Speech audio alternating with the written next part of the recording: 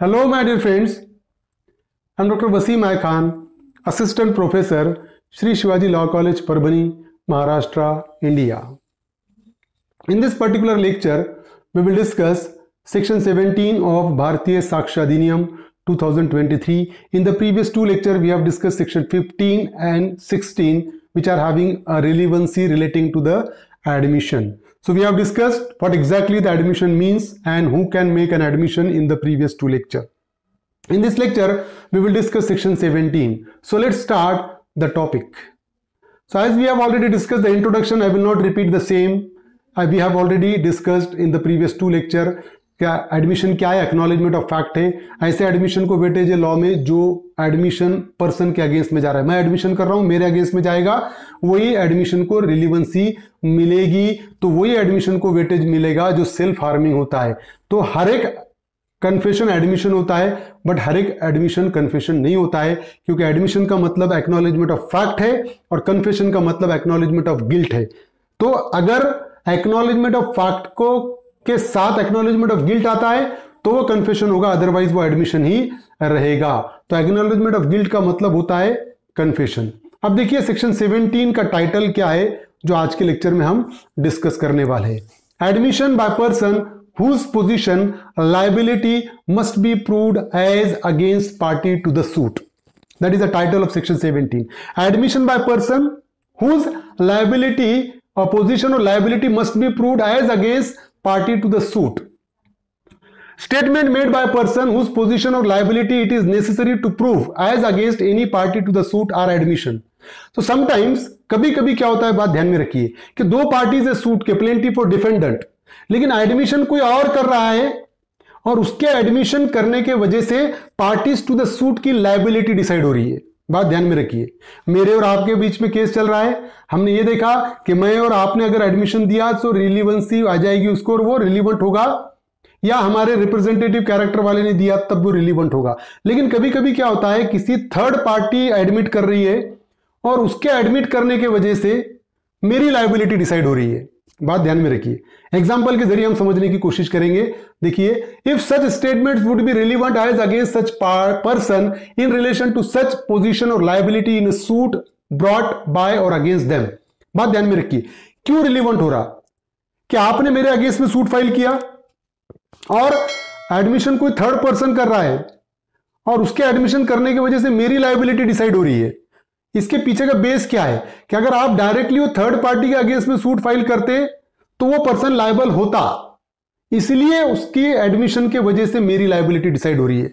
Example के ज़रिए हम समझेंगे, देखिए तो it will be crystal clear and if they are made whilst the person making them occupy such position or is subject of such liability समझेंगे हम example यहाँ पर देखिए Ram undertakes to collect rents for Sham यहाँ पर राम ने undertaking क्या लिया? शाम को यह कहा कि आपके तरफ़ से किराया मैं वसूल करूँगा। I will collect the rent on behalf of you ये राम ने कहा था शाम को कि तुम्हारे तरफ़ से किराया मैं वसूल करूँगा। अब हुआ ऐसा कि शाम सूज राम, शाम ने राम के अगेंस्ट में सूट फ़ाइल कर दिया। काय के लिए? For not collecting rent due from Ganesh to Sham बात ध्यान में रखिए। राम ने अंडरटेकिंग लिया था। शाम को यह कहा था कि आप फ़िक्र मत करो। जो भी आपका किराया है मैं वसूलूँगा लेकिन शाम ने सूट फ़ाइल कर दिया राम के अगेंस्ट में और उसका कंटेंशन ये था कि जो गणेश के तरफ़ किराया बाकी है, तुमने वो वसूल नहीं किया कलेक्ट नहीं किया। तुमने अंडरटेकिंग लिया था, तुम्हारी रिस्पॉन्सिबिलिटी थी किराया वसूल करने की। और राम को यह कहा कि भाई, गणेश के तरफ़ तो किराया बाकी है और तुमने वसूल नहीं किया, इसलिए तुम लाइबल है। वो किराया अब तुम दोगे वो नुकसान भरपाई अब तुम करके दोगे। अब यहाँ पर राम ये कह रहा है Ram denies that rent was due from Ganesh to Sham Ram बोल रहा है कि भाई गणेश का कोई किराया आना बाकी ही नहीं है। शाम को ये कह रहा है कि भाई गणेश का तुम, तुम्हारा कोई किराया आना बाकी ही नहीं है तो मैं क्यों कलेक्ट करूँ? लाइक दैट अब बात ध्यान में रखो सूट किसके बीच में है? शाम ने राम के अगेंस्ट में सूट फ़ाइल किया और शाम का यह कहना है कि राम ने किराया वसूल नहीं किया। राम ये कह रहा है, किराया बाकी है ही नहीं। बीच में गणेश, जो थर्ड पार्टी है सूट की पार्टी नहीं है, लेकिन गणेश ने क्या किया? Statement by Ganesh that he owed Sham rent is an admission Ganesh ने बीच में बोला क्या हाँ हाँ बिल्कुल बिल्कुल, ये बात सही है, शाम का मुझ पर किराया बाकी है। अब जैसा ही गणेश का ये स्टेटमेंट आया कि शाम का मुझ पर किराया बाकी है तो ये तो एडमिशन हो गया ना, उसने एडमिट किया हाँ किराया बाकी है। बट ये एडमिशन इस केस में रिलीवेंट हो जाएगा। राम और शाम के केस में रिलीवेंट हो जाएगा। क्या किसकी लाइबिलिटी प्रूव करने के लिए? राम की लाइबिलिटी प्रूव करने के लिए। क्योंकि शाम ने राम के अगेंस्ट में सूट क्या फुल के फ़ाइल किया है कि तुमने किराया वसूल नहीं किया। और गणेश ने क्या कहा? हाँ मुझ पर किराया बाकी है। तो ये जो एडमिशन है, इस केस में राम और शाम के केस में रिलीवेंट हो जाएगा, जिसके चलते राम की लाइबिलिटी डिसाइड हो सकती है कि राम ने किराया वसूल नहीं किया। तो बात ध्यान में रखो कि एडमिशन कोई थर्ड पर्सन कर रहा है और उस एडमिशन के बेस पे पार्टीज़ टू द प्रोसीडिंग की लाइबिलिटी डिसाइड हो रही है। तो सेक्शन 17 का एसेंस यही है। तो because liability of Ram for non collection depends upon the liability of Ganesh कि जो राम की लाइबिलिटी काय पे डिपेंड है? गणेश की लाइबिलिटी पे। अगर गणेश के तरफ़ किराया बाकी है, तभी तो राम की लाइबिलिटी डिसाइड होगी। अगर गणेश के तरफ़ किराया बाकी नहीं रहा तो शाम जीतेगा का केस राम के अगेंस्ट में बिल्कुल नहीं। तो ये provision of section 17 another example is there देखिए Ram agrees to stand as a surety for Sham in respect of the goods to be supplied by Ganesh तो राम ने एग्री क्या किया? To stand as a surety for Sham Ram ने शाम का surety बना, उसके जमानतदार बना in respect of goods to be supplied by Ganesh उसने बोला कि जो भी गणेश सप्लाई करेगा शाम को गुड्स उसकी श्योरिटी मैं हूँ कि अगर शाम पैसे नहीं देगा तो राम ने अंडरटेकिंग लिया कि मैं पैसे दूँगा। अब गणेश ने शाम को गुड्स पहुँचा दिया। देखिए, Ganesh file a suit against Ram because Sham is not paying the price of the goods बात ध्यान में रखिए। राम ने शाम की अंडरटेकिंग लिया था। किसके सामने? गणेश के सामने। गणेश को यह कहा कि भाई आप शाम को गुड्स दीजिए। अगर शाम पैसा नहीं देगा तो मैं लाइबल रहूँगा। हाँ हुआ ऐसा ही। कि शाम ने पैसा नहीं दिया तो गणेश ने सूट फ़ाइल कर दिया किसके अगेंस्ट में? राम के अगेंस्ट में। और उसने ये कहा कि भाई तुमने शाम की अंडरटेकिंग लिए थे कि वो पैसे नहीं दिया तो मैं दूँगा। अब शाम पैसे नहीं दे रहा है, आप, तुम मुझे पैसे दो। राम के अगेंस्ट में उसने सूट फ़ाइल कर दिया गणेश ने। अब बात ध्यान में रखिए। डाम, Ram denies that any money is due from Sham Ram ने डिनाई करा। बोला कि नहीं नहीं नहीं शाम पे तुम्हारा कोई पैसा है नहीं, उसने तो ऑलरेडी तुमको पैसे दे चुका है। लाइक like दैट राम ने डिनाई किया। बट यहाँ पर शाम क्या कहता है, देखिए, Sham makes a statement that he owed money to Ganesh for the good supplied to him is relevant against Ram but Sham ने बीच में यह कहा कि भाई हाँ हाँ बिल्कुल बिल्कुल बिल्कुल बोले गणेश ने जो मुझे प्रॉपर गुड्स प्रोवाइड किया था, दिया था, उसके पैसे मुझ पर उसके बाकी है। बात ध्यान में रखिए, सूट गणेश ने फ़ाइल किया राम के अगेंस्ट में और उसका क्लेम क्या था कि राम शाम की श्योरिटी बना था। उसने ये कहा था कि अगर शाम पैसे नहीं लौटाएगा तो मैं दूँगा।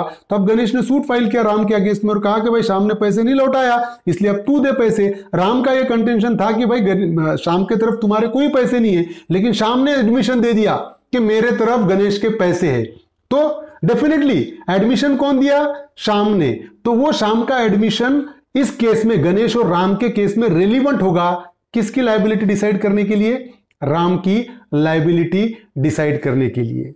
बात ध्यान में रखो। तो ये है इसेंस सेक्शन 17 का। अली मोहिद्दीन राउतन वर्सेस इलाइचनल थी, कोम्बी अचन देखिए, यहाँ पर था, Ram and Shyam jointly borrowed some money from Ganesh. दोनों ने मिलकर ज्वाइंटली बोरो किया। पैसे उधार लिए गणेश से। Who bought who brought an action against Shyam alone जब पैसे नहीं लौटाए गए तो गणेश ने सिर्फ़ और सिर्फ़ शाम के अगेंस्ट में उसने सूट फ़ाइल किया। हुआ क्या था? राम और शाम ने मिलकर ज्वाइंटली पैसे उधार लिए थे गणेश थे तो होना यह चाहिए था कि गणेश को दोनों के अगेंस्ट में सूट फ़ाइल करना था, लेकिन गणेश ने सिर्फ़ शाम के अगेंस्ट में ही सूट फ़ाइल किया। Sham raise an objection saying that Ram should also be joint as a party as there is a joint liability on him Sham ने एक ऑब्जेक्शन लिया और शाम ने यह बोला कि भाई, मैं अकेला ही क्यों? मेरे अकेले के अगेंस्ट में ही सूट क्यों फ़ाइल हुई? राम भी ज्वाइंटली पार्टी होनी चाहिए क्योंकि हमने दोनों ने मिलकर कर्ज लिया था। बात ध्यान में रखो सूट किसके बीच में है? गणेश ने सूट फ़ाइल किया शाम के अगेंस्ट में। बट शाम का यह कहना है कि भाई दोनों के अगेंस्ट में सूट फ़ाइल होना ज़रूरी है। It has been held that the admission of Ram while borrowing the amount as to is joint liabilities relevant between Sham and Ganesh बात ध्यान में रखिए।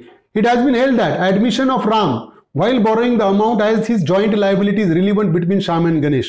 तो राम ने जो कर्ज लेते हुए, पैसे उधार लेते हुए जो एडमिशन दिया था कि मेरी और शाम की ज्वाइंट लाइबिलिटी रहेगी तो इसलिए वो राम का जो भी स्टेटमेंट था वो एज एन एडमिशन रिलीवेंट होगा। किसके केस में? श्याम और गणेश के केस में। राम पार्टी नहीं है, फिर भी राम का एडमिशन श्याम और गणेश के केस में रिलीवेंट हो जाएगा।